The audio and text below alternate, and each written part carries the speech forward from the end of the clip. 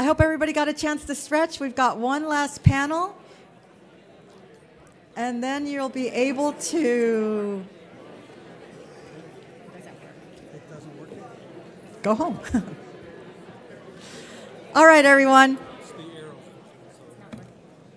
It's not working, Patty. It's not, okay, we'll just ask.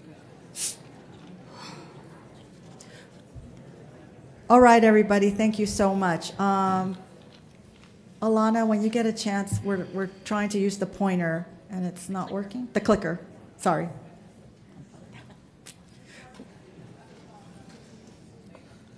Okay, Perfect. Okay, so as we're working with that for just a second, I'm going to go ahead and introduce our panel moderator, who told me, don't say too much about me, because this isn't about me, this is about all this great information. But she is pretty amazing. So it's my pleasure to introduce the moderator for our last panel, Ms. Laura Mitvalsky, who is the Director of Health Promotion and Wellness at the Army Public Health Center. This is a very important center, so I'm really excited that she's here. Laura. Thank you, Patty. Well, hello, distinguished uh, military and uh, civilian leaders and distinguished family member leaders. Um, we're really excited to be able to provide you some information about things that you told us last year that you wanted to know, concerns that you had. And so uh, this distinguished panel here is going to uh, tell you a little bit about what we've learned in this last year. So put on my readers. Okay, let's see if this works. And it doesn't. Next slide, please.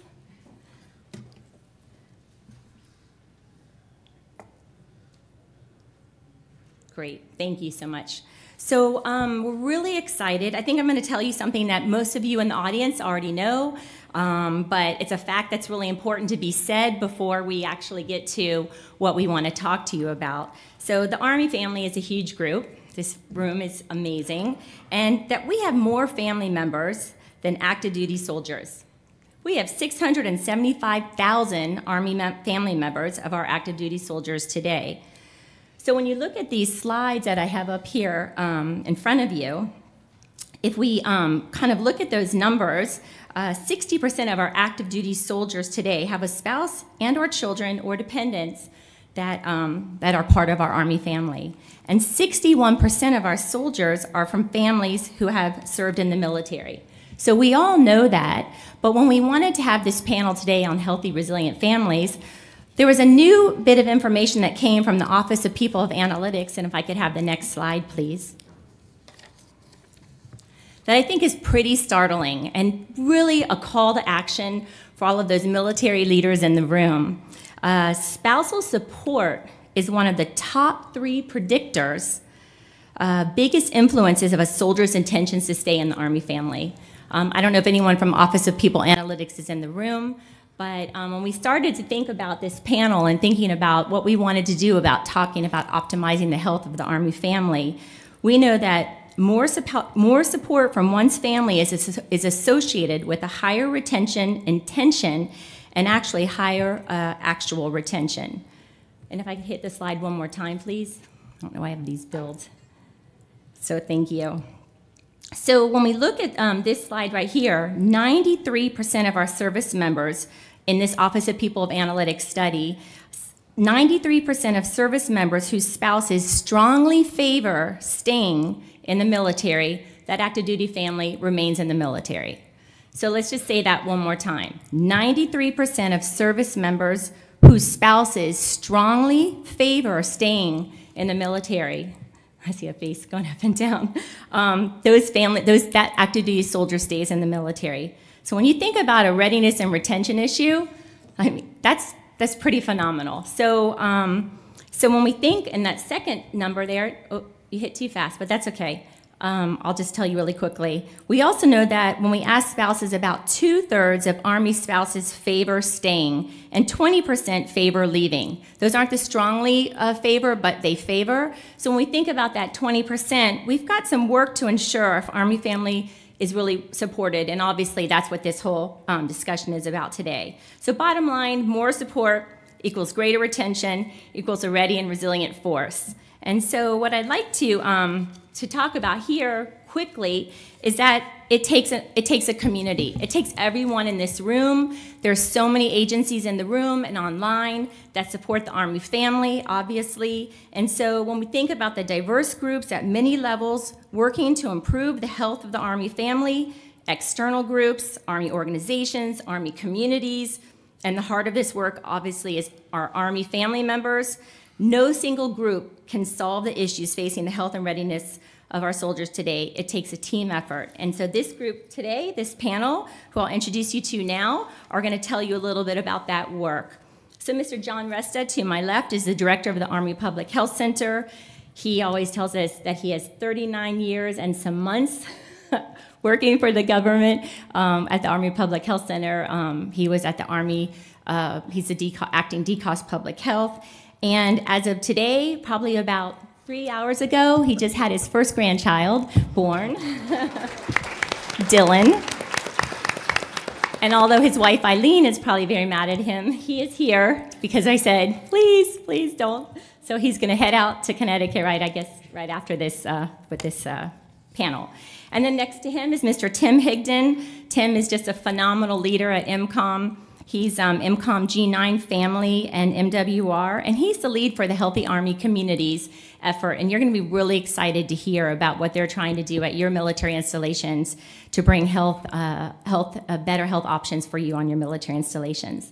And then next to Tim is Dr. Shelley MacDermid Wadsworth. She's from Purdue University, and she's the director of Military Family uh, um, Research Initiative, and is going to be sharing some um, really interesting information with you. And then finally, uh, Miss Elizabeth Groover. She's a professional spouse. She, as many of all of you in this room, uh, she has four children. She's moved numerous times. And just like any amazing Army family spouse, she was actually not our original panel member. So in your in your agenda, you might see another name. And we called her like yesterday, and she said, "Sure, I'll do it." And we could have probably pulled any of you up here. But so we really appreciate Elizabeth. Her husband's at the 20th CBRNE up at um, Army uh, Aberdeen Proving Ground. So I'll turn it over to you, Mr. Resta and uh, let you take it away. Next slide. And I was actually south of the Harbor Tunnel when I found out, so I would have had to turn around. Uh, what I'd like to do, next slide, please, is, is start with a story. Is uh, about six, seven years ago, I was asked a very simple question by my then boss at the time, Lieutenant General Horoho, what's the health of the force? And um, the first answer we gave her was, well, it's complicated and it's difficult. Um, and that wasn't good enough for her at the time, and so she wanted us to look at that. Well, luckily, again, then I had somebody else that we were working with, uh, Colonel Dietrich Tahan, who stood up earlier, who was saying, well, we can answer that question. And so we started down that process of trying to assess the health of the force. If I could, uh, next slide, please, is uh, taking a look at, at what the health of the force is so that we can empower action. We know what illnesses and injuries we suffer from. We know what interventions work, and we go forward and actually try and make the force a healthier place. Uh, flash forward to about 2017, my boss at the time, then Lieutenant General, now retired, Nadja West, asked me, well, what about our families? Next slide, please. And at that point, I just assumed 21st century, we have a uh, electronic health record, this is going to be easy. Well, uh, that's not actually true. Again, simple question, complicated answer.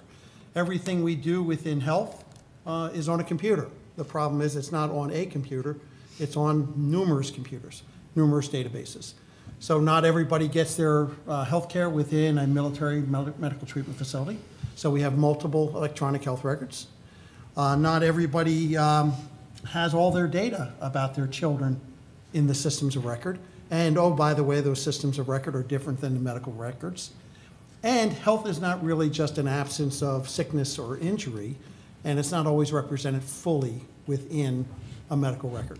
So we are embarking uh, right now, and what we have today for you is essentially version one of, of the Army Health of the Force, and we'll go forward from there and get the version two, three, and four, and get it better as we go forward. So next slide, please. Uh, the first thing is that uh, we started to look at about a year ago. You all read the news, uh, you talked about it here at this record, regarding uh, blood lead levels in Army children or military children uh, across the country. That caught us a little bit by surprise in the public health community because, quite frankly, we thought we had solved that problem in 1996. And to some extent, we did. We just didn't solve it to our benefit. So, since that time, we have been tracking this pretty closely, and now we can tell you with some confidence that Army children have a risk of about five in a thousand to have an elevated blood lead level.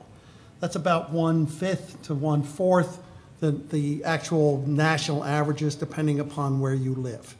Uh, depending upon what data are in the system, it's sometimes it's about one one tenth of the average of national averages.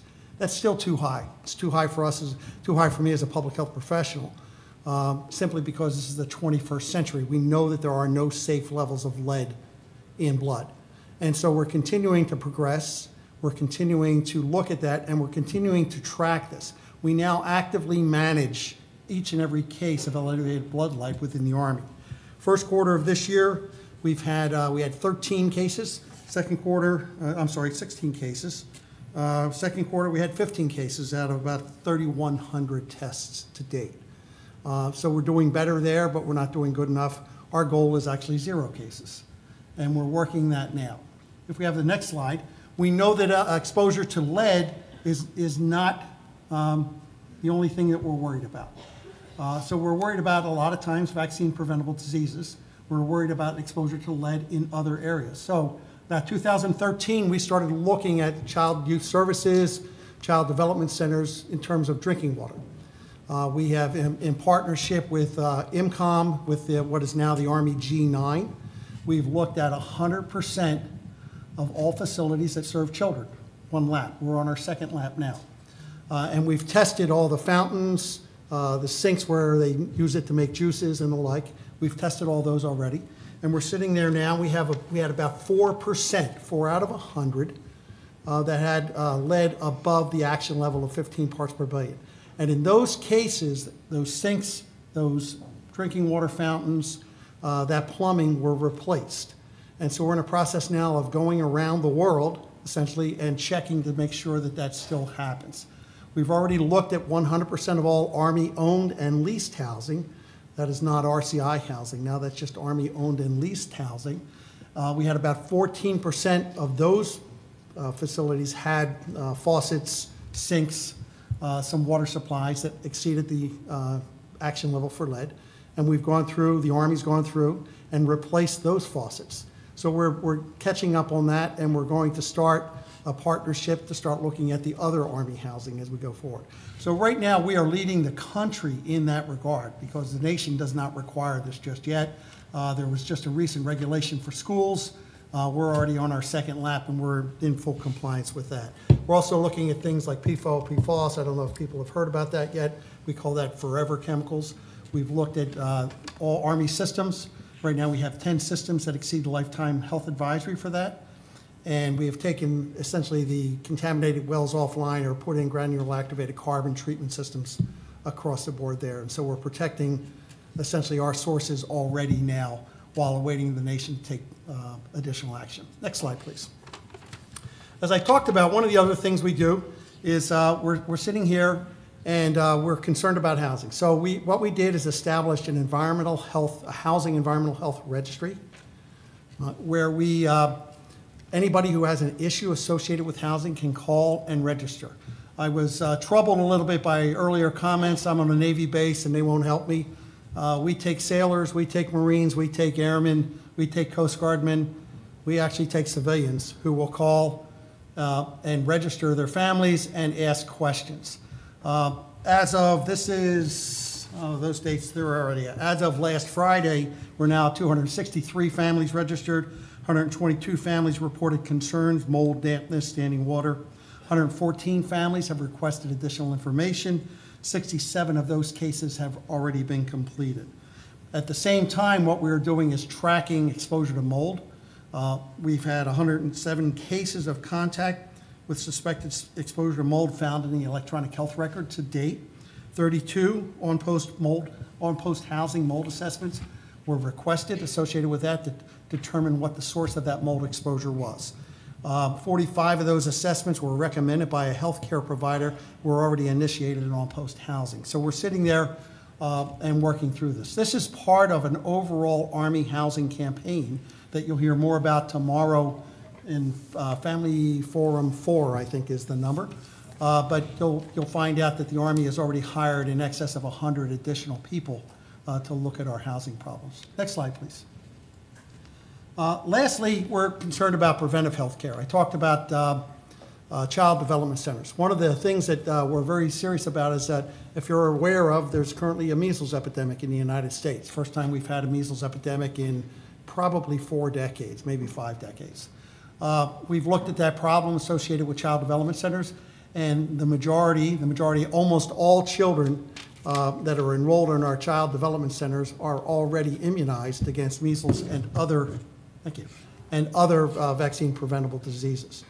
Uh, We're in the process now of trying to track for those children who are not enrolled in our systems. One of the problems I talked about is that uh, those records are on a computer somewhere, uh, and they're just not in the same place uh, where we would like to find them every time. So we're in the process of trying to figure a way to reach de- deep into these records, pull it out, and get a better access to care uh, situation there, to sort of what General Place was talking about earlier. I'm confident, given the fact that uh, right now we have 90% of our children uh, basically get all of their well baby checks that receive care in the military health system, which exceeds the national averages almost by a factor of two. And so just that mere fact of access to care means that our children are going to end up having better access, seeking medical care. Now, that does not guarantee that they will be healthier. Access to care is not, it is a metric, but is not the sole metric. Uh, we have to start looking at other things, and we'll talk about that as we go along in terms of other healthier communities. And with that, Tim? So before you go, Tim, um, thank you, Mr. Resta. I wanted to just bring your attention to, uh, on your tables, the, what Doc, uh, Mr. Resta was talking about. There's a lot of more information we found out in terms of optimizing the health of the Army family. Uh, the whole team at that table, raise your hand over there, Dr. Beamer, Dr. Santo, Dr. Jill Brown, all of them, they were the ones working with, um, I'm going to say ACSIM, because we all still know that headquarters G9, um, Dory and uh, Dee and the whole team to be able to pull this information together for you. So we put uh, a quite thick report into a really nice uh, infographic. And then in terms of the housing registry, I know Colonel Casto is going to be, who's here in the front, is going to be briefing that tomorrow at the Family Forum. But right over here to your left uh, is more information and the cards with that number and how to um, um, how to access that housing registry. So that's just on this first table. So okay, Mr. Higdon, I'll hand it over to you. Great, thank you, Laura, and thank you everyone for being here today. Um, uh, I'm really excited about the next 45 minutes that I have with you, and hopefully it feels more like 10. So um, we'll, we'll try to keep it to that.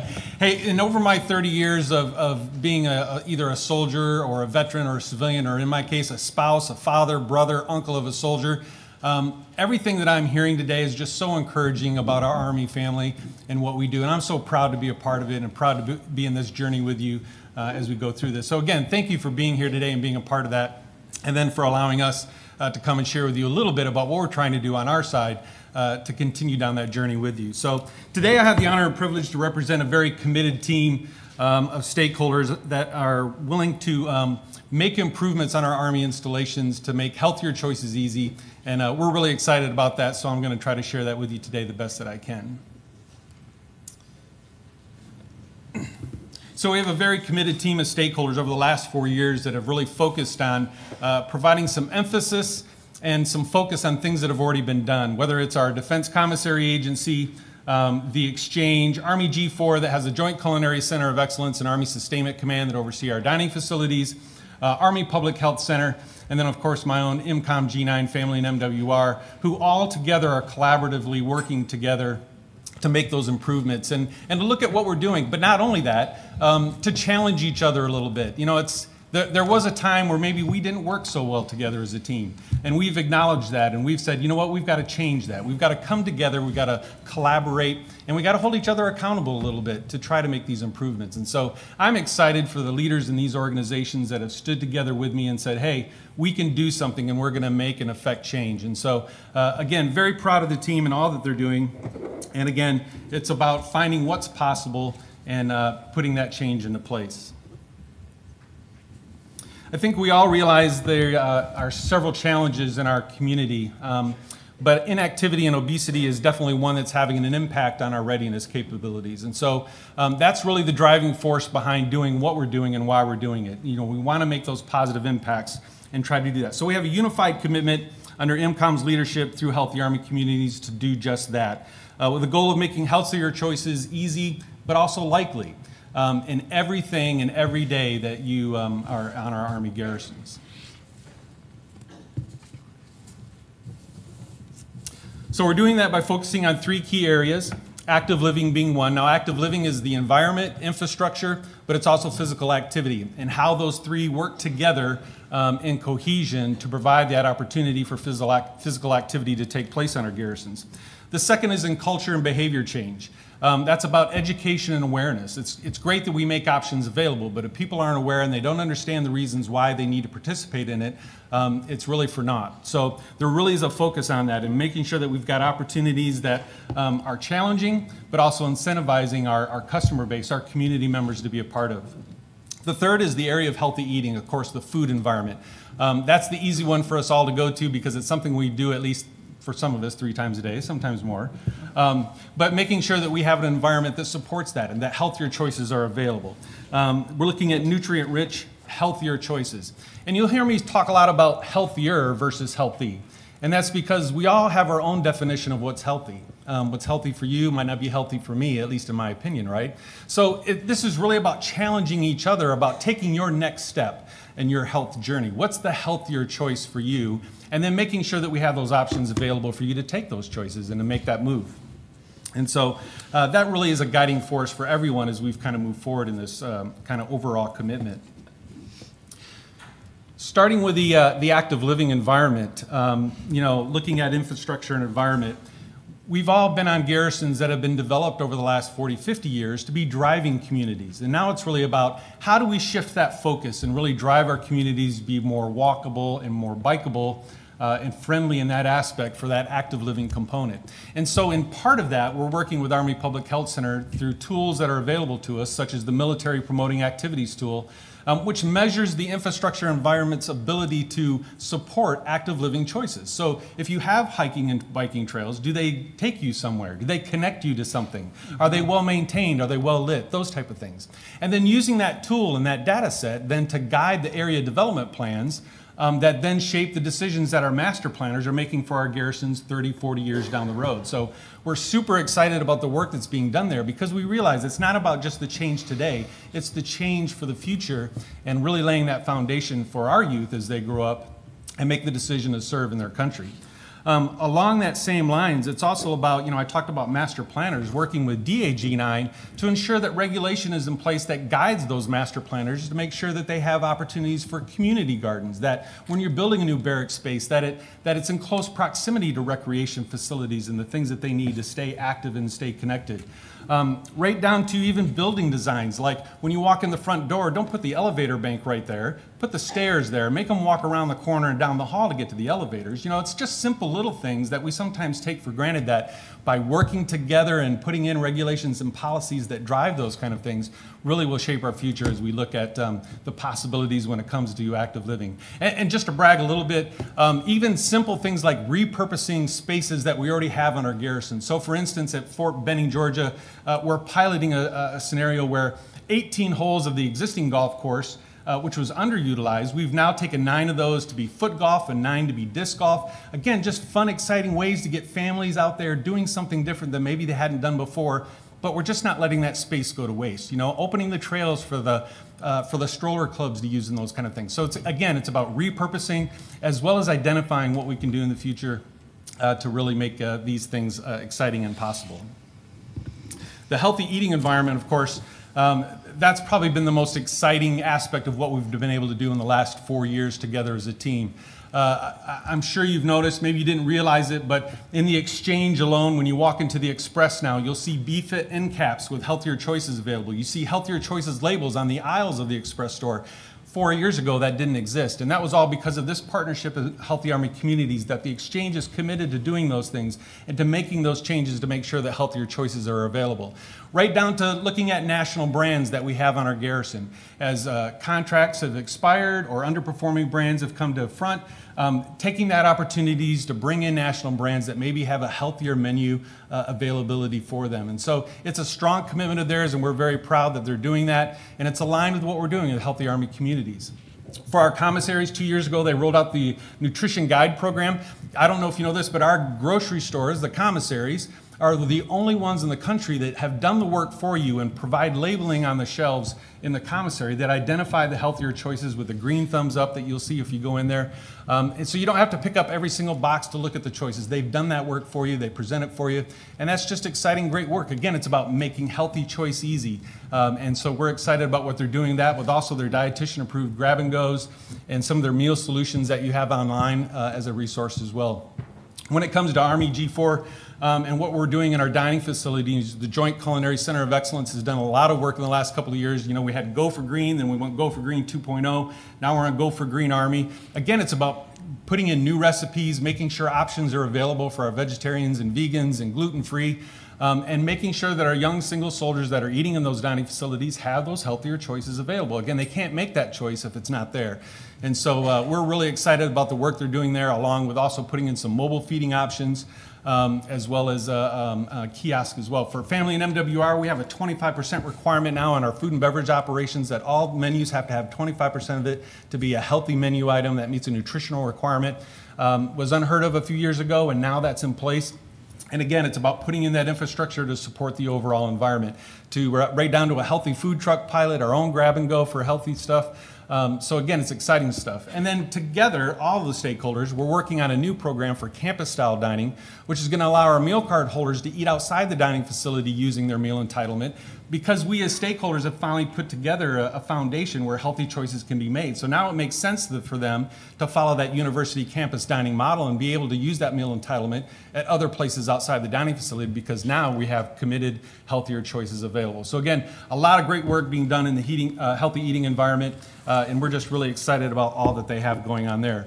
Um, on the culture behavior change, you know, again, it's about education awareness, and there's a lot of different partners that are involved in that. But one of the things I did want to share with everyone, um, you know, MedCom for a couple of years now have had the um, uh, uh, tobacco-free campuses model. And so we're using that model and we're saying, how can we take that one step further? What's the next healthy step uh, when it comes to, for tobacco cessation on our garrisons? And so we're looking at working with our garrisons uh, to identify zones where maybe we have child and youth activities, recreation activities as a three or four block radius where those facilities are all around each other, and then creating a tobacco-free zone. Again, with the, the intent of shading our youth from the, uh, the behavior of tobacco use. Um, so it'll probably be years. It took us 50 years to wear a seatbelt, so it'll probably take us a few years to get to where we're completely tobacco free. Um, but if we can take that one next step and create some tobacco free zones, I think it's a great win for everybody, and it just keeps the conversation moving forward uh, in a great positive way. And so, really, what it comes down to is um, how do you get involved? Um, you know, a lot of what we've done is because we heard your voices. Families said, we'll make a healthy choice if you make it available.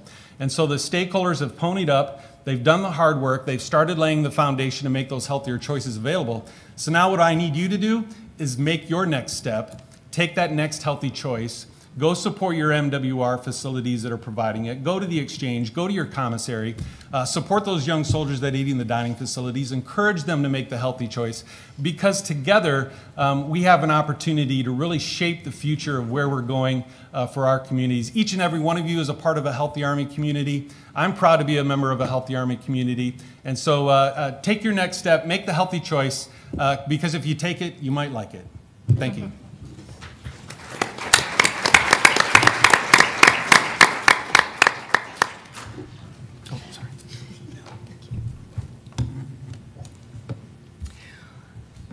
I'm very happy to be here today. You might have wondered when I was introduced uh, why I'm here, since I'm not part of the Army Public Health Center. Um, I direct the Military Family Research Institute at Purdue University, um, but I'm not here representing them either. Uh, I'm here today because I recently served on a National Academies of Science panel uh, which was asked uh, with uh, the Office of Military, Community, and Family Policy as its client to think about the military family readiness system for the future. So our client was from OSD, therefore we weren't talking specifically about any uh, specific uh, branch of service. This was intended to be uh, a big picture look. And in the brief time that I have with you today, I'm going to just share one conclusion, offer you one piece of food for thought as an appetizer uh, for a much longer report and set of recommendations.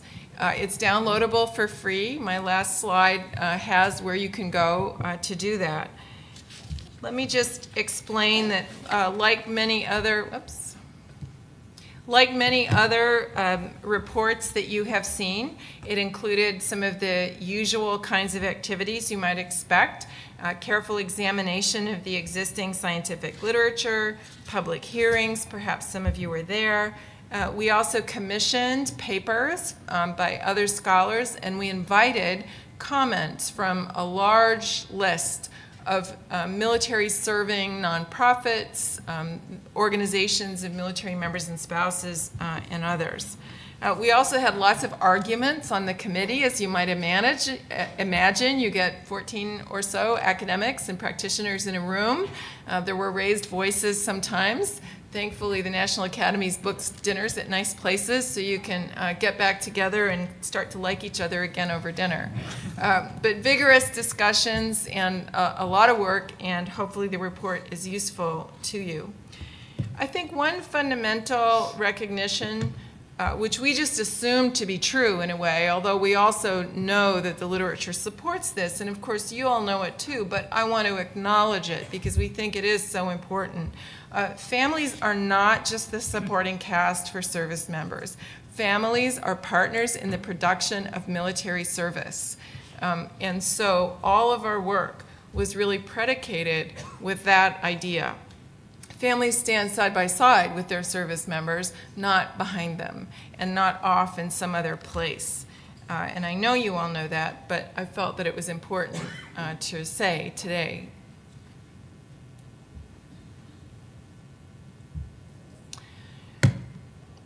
This is such an obvious statement. Families are always changing.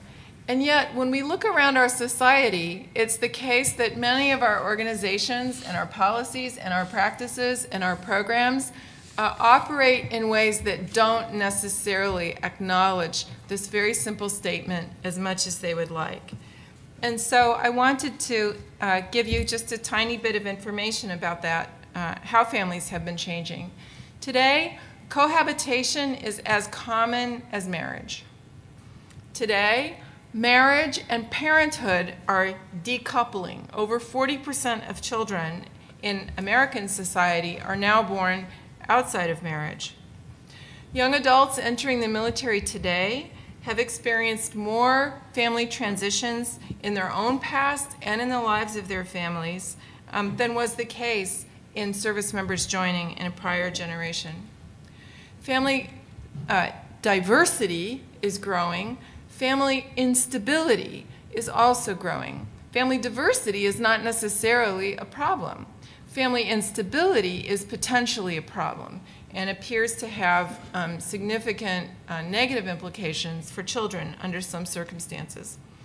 Even more concerning is that the behavior in our society by different groups of people is diverging by education. And so highly educated people are more likely to marry each other they're more likely to get married, they're more likely to stay married, they're more likely to have their children inside marriage. Less educated people, less likely to marry, more likely to divorce, more likely to have their children outside marriage, more likely to have children from multiple partners. Both of these realities exist. And one of the reasons that people are concerned in particular or think that this um, type of behavior among less educated people is growing is because of financial instability. Let me illustrate uh, just a little bit this point. Sorry. Here. So between 1970, so right before the beginning of the all-volunteer force, and 2014, here's what we saw in changes in U.S. society uh, in the growth or shrinkage of different kinds of family forms. So married couples with children fell 26%. Every other family form grew. Household householders with partners and or children in their household grew 220%. Now, among military families, all of those blue arrows still represent a relatively small portion of the overall, to the extent that we know. Um, and married couple families are still a very large uh, percentage of the group, but they're shrinking. They're shrinking uh, as a percentage. And so the dilemma is uh, which families do you serve? Do you sort of hold fast and say, no, we think the best kind of family is the family that fits through this box? Or do we acknowledge the families that we really have? And over the last 30 years, and potentially in the next 30 years, what you will see is military programs, practices, and policies gradually diverging from the families that the military actually has and covering potentially a smaller and smaller percentage of the families that you actually have. And today, there are families who are invisible. You have families that we don't really know much about. The uh, spouse survey that we just heard about was for spouses. Well, what about those 220% increase in unmarried partners uh, with children? You have those folks too, but they're not in uh, these sorts of surveys for sometimes very good reasons. Um, but not having any information at all uh, might prevent good decision making. And so one of our recommendations was uh, that we really need to try to understand better the diversity of the families that you really have that are really in the military. And the recognition, the committee recognizes fully that you can't treat everyone like you now treat spouses. You can't, you can't incorporate everybody under that big tent. It would be uh, impractical and too expensive. But we think that there are reasons to be able to ask these three questions. Who provides care and support for service members, both married and unmarried? Who should be the targets of the military family readiness system? And most important, which parts of the system can address which part of service members' support systems? Uh, this last slide, if I can get it to come up, but if not, I'm sure it'll be posted. Uh, you can see at the National Academies, uh, you can download the report there. My email address is really easy. You can just email me and I will send you the link. Thank you for your attention.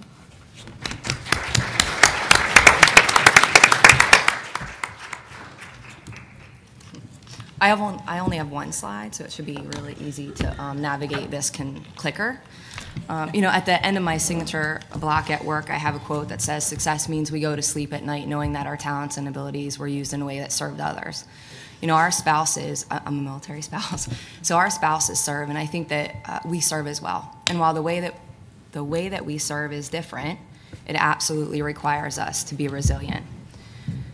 Um, you know, even knowing that, that it requires this resiliency um, and hosting resiliency events for military children with the Military Child Education Coalition, you know, I'm a master resilient trainer, um, et cetera. When they asked me to um, be on this panel three days ago, um, I, I, wasn't quite sure what I was going to say because I felt like this was uh, a little bit different than when you're up there teaching or, or you're hosting an event.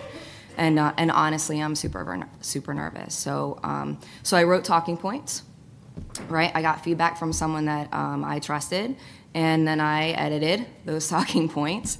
Um, and then uh, there I was yesterday picking out my uh, favorite baking book because on Friday all my kids tested positive for the flu. Not contagious, just FYI. Right? Yeah, right? So um, didn't even know it. Um, anyway, and out fell this note, and it was written on packing paper, and y'all know what that is, right? Brown packing paper folded up everywhere. Um, and it said something, it was it said this. Um, it said, You are the best battle buddy a girl could ask for. I might cry. I'm sorry. Right, so you are the best battle buddy a girl could ask for. You are so strong and such an inspiration, and I am excited to visit. Yes, I invited myself and beer, I do drink beer, love Kelly, right? And I have three more of those written on packing paper, and they were stuffed inside uh, packing boxes three years ago when we made our move to APG. Um, and when I say we, it was my three, we have four children. It was my three younger children and I. Um, my husband was deployed to Afghanistan, and the Army decided to throw us uh, another curveball. I know, yeah. I'll explain it all later. Yeah, so, and, um, and so with that curveball, um, you know, my husband and I over FaceTime in Afghanistan decided that I, I should take a job in Aberdeen Proving Ground, right, if I could get one. Um, and I did a lot quicker than I thought I was going to. So I packed up all three children by myself because this wasn't a military ordered move to come here. Um, and we moved to APG. Um, you know, and so I just want to say that um, I want to pause for one second too, because this was not in my notes, but I was listening to you know panel one and everybody else that was talking earlier today, and you know as I'm writing this, I'm like I don't know what I'm going to write about, et cetera, et cetera. And as you can see, I, this I put together Thursday, so I apologize, but they were like, "What is resiliency?" I'm like, mm, right. Um, so community, right, purpose, contentment, impact. Um, you know, for me, it's really about community. And I just think that everybody on the on panel one and you know um, all the other research that has been done is really just um, reiterates that for me um, how important community is. So I, I feel humbled and honored to be able to talk just a teeny bit about what community means to me as a military spouse. Um, you know, so as military spouses, I think resiliency means that we take every adversity, every move, every deployment. Uh, my husband's been on three combat deployments and he's been on three hardship tours and um, multiple TDYs. And I don't have to tell any of you spouses out there anything about that. Um, but we take every deployment and every new school and every best friendship turn into a long distance relationship, right? Um, and we do what we have to do, right? Because our soldiers need us to and our kids need us to, and we just do it. And I don't think that's ever going to change, and I think that's fantastic, and it speaks a lot about the strength of military spouses. Um, but I also believe that resiliency is more than just bouncing back from adversity and doing what we have to do. You know, I believe it's about community, impact, contentment, and purpose. Um, so today I'm going to talk just a little bit about that type of resiliency. All right, because before all of this, before becoming a military spouse, a mother of four, um, you know, having a career, um, I couldn't stand people like you, right? And people like you, like you dress not. No, I'm being serious, right? um, people who are dressed nice, right? Um, people in uniform. Ironic, I know, because I'm married to a man in uniform, um, right? But if you looked like you were successful, if you weren't wearing dirty clothes, if you had a place to live, I despised you. And I despised you because I didn't think that you were there when I needed you. You know, and then, and then one day, at a coffee um, in Vilseck, Germany, when we were stationed with 201st Field Support Battalion. My husband's uh, commander's wife came up to me and said, You know, something happened to me yesterday, Elizabeth, and I really wanted to share it with you because I really knew that you would get it. And she shared this something with me, and it was really personal and impactful for her and her and her personal life. And um, and I think that was one of the first times I felt like someone besides my husband uh, saw me?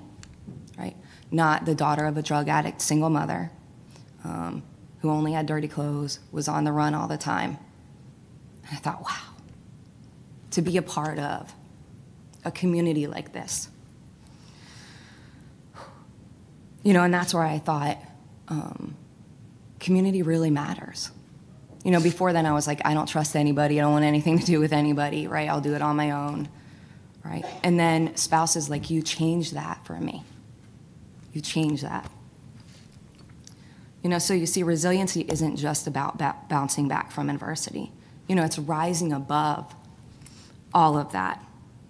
Those things that you have no control over. It's learning to love and be content with yourself and with um, the life you've been given. It's finding your purpose, and whether that be in your volunteer work or your career or both, right? And then it's building that through community, like the ones that we have. You know, as military spouses, I feel that we're blessed to be a part of one of the greatest communities on the planet. I do. I know that's a little biased, but I believe it. You know, we know how to encourage and inspire each other. Um, we share love and loss and fear with each other. You know, and because of that, I don't believe that I could be where I am today, that we can make the impact on the communities that we do everywhere we go. You know, and I'm beyond, beyond proud um, to love a man that defends a country where a girl like me, right, abused, abandoned, emancipated at 16, you know, can be a part of such an incredible, incredible community that makes an impact wherever we go. So I think leaving today, I'm, I'm exactly at zero seconds, right? Look at that. Um, leaving today, I want to just say thank you um, to all the other military spouses out there who make an impact wherever they go. So thank you.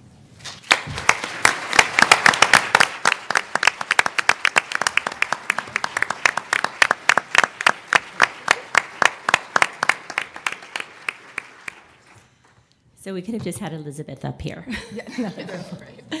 But with that, can I take any questions for our, our esteemed panel? Yes.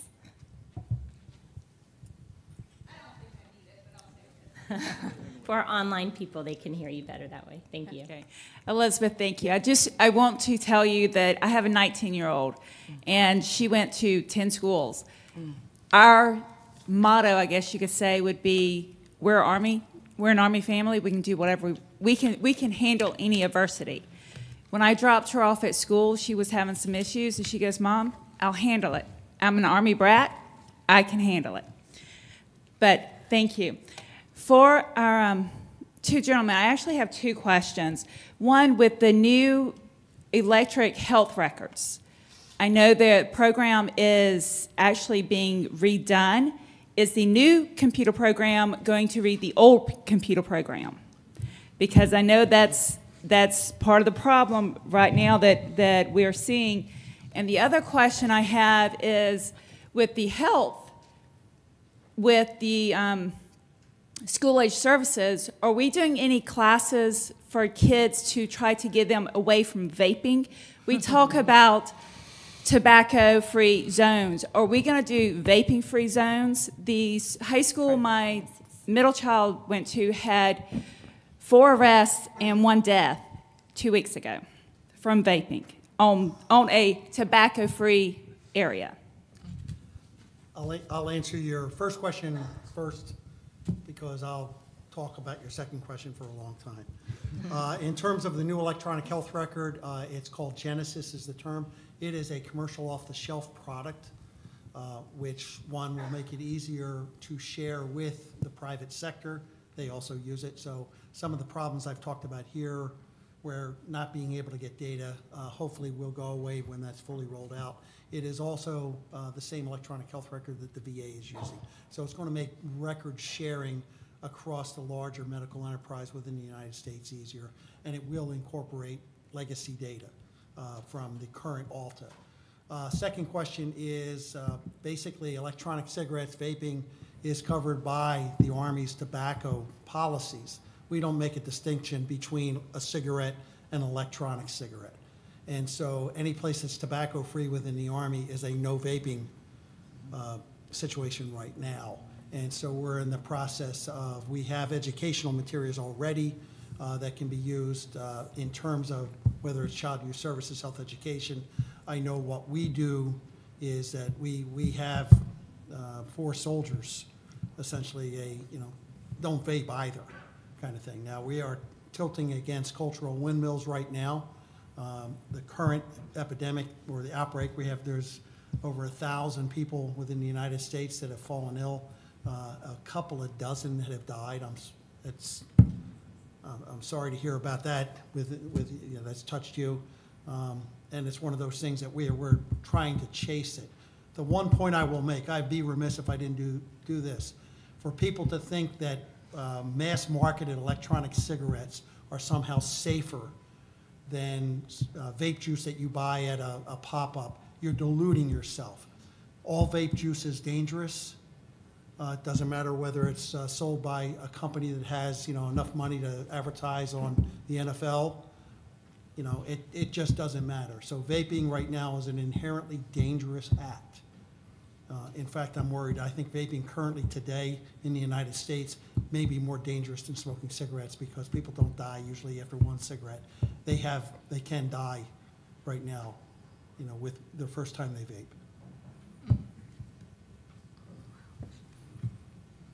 Anyone else?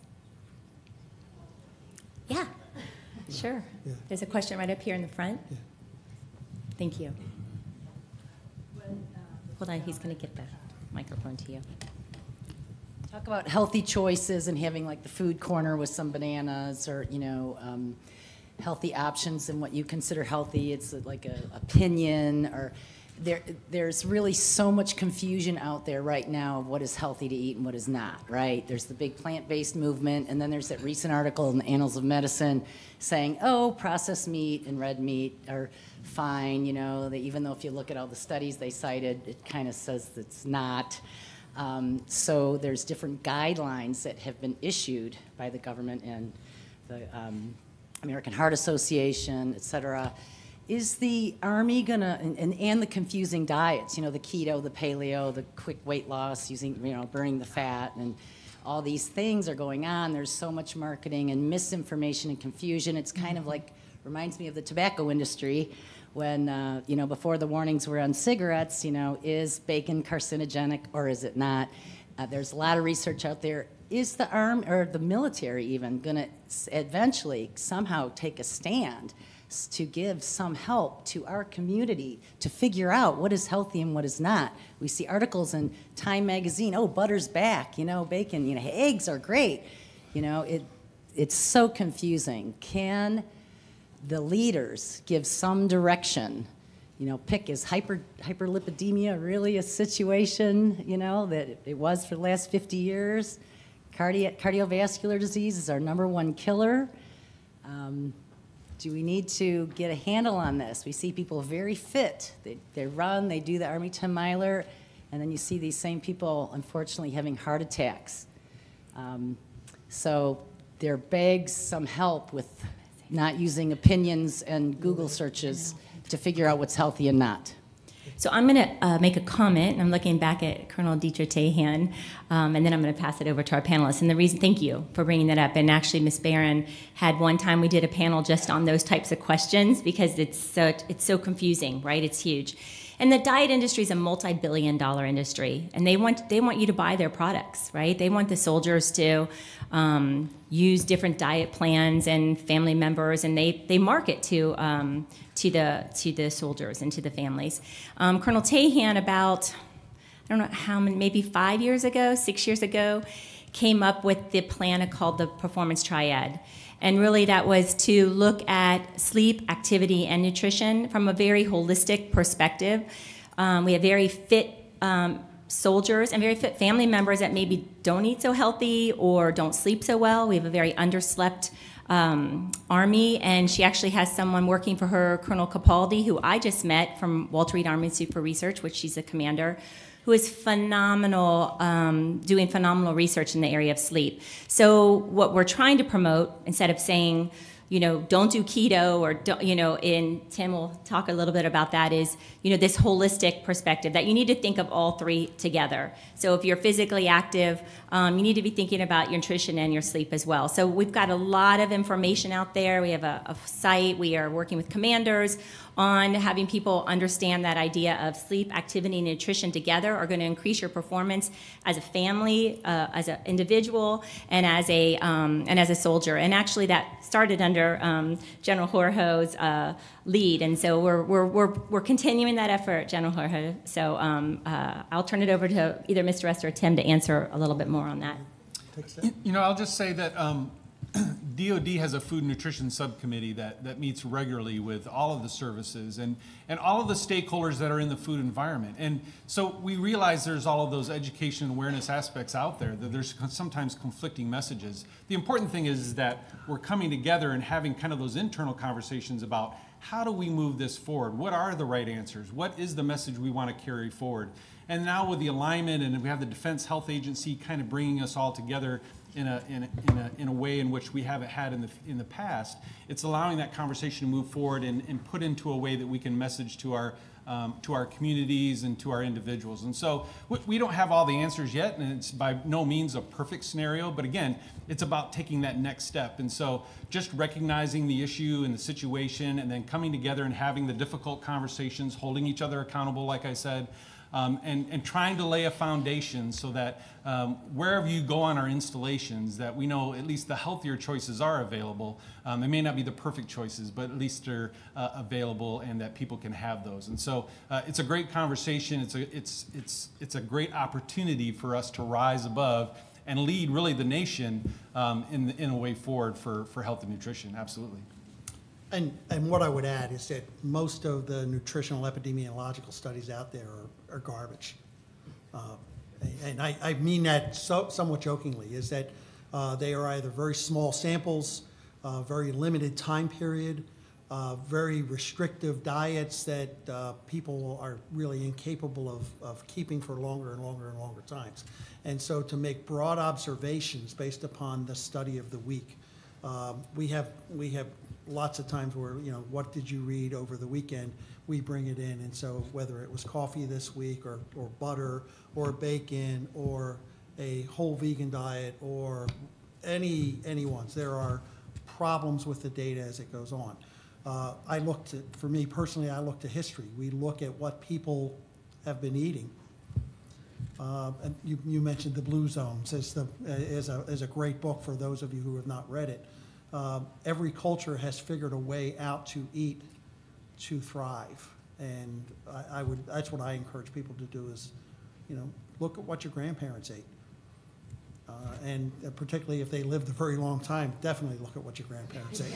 You know, so, Now, if they didn't live that long, then maybe it's a different story. But, and, or look at what their parents ate or their grandparents ate, you know, before they came into the United States. So, so my question is reference Genesis, so I'll give you a little bit of a backstory and then I'll ask the question. Um, I, uh, recently, I lost my son going through the med board process. Um, one of the problems that was identified during the 15-6 that was conducted was, you know, he was seeing a VA doctor, he was seeing his pain care manager, he was seeing his primary care manager, but because they were all on different systems and because he was being treated for physical ailments and being asked questions about behavioral health issues, none of it was connected together. So when this person's treating him and this person's treating him, they're not seeing the true picture. Is Genesis going to fix that? Chairman Blank. General Place, I, I can answer what I've been told, but I, Yeah, fix is a, is a challenging word. So the, the challenge with existing systems is that they are interoperable, but it takes significant effort to do so. So could the practitioners, all that you mentioned, could they have seen all the notes? The answer is yes, they could have. It just takes significant effort to get into each of the different systems to do so. The advantage of MHS Genesis is the platform is the same, the note structure is the same, the interoperability is the same, so it becomes extraordinarily easier, simpler, uh, sensical for the providers to look in the same electronic health record to see it. Would it have solved the problem for your son, sir? I don't know. And, and I'm, I apologize for the entire United States military for what your family has gone through to get to this place. But tools support decision making, and Genesis will be a much better tool to support the clinicians who are taking care of people like your son. Thank you.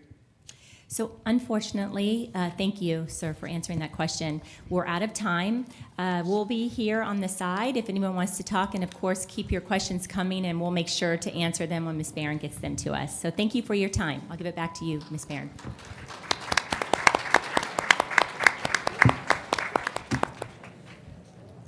Well, that panel was well worth the wait. Thank you all so very, very much, and come back tomorrow morning at 9 o'clock. Thank you.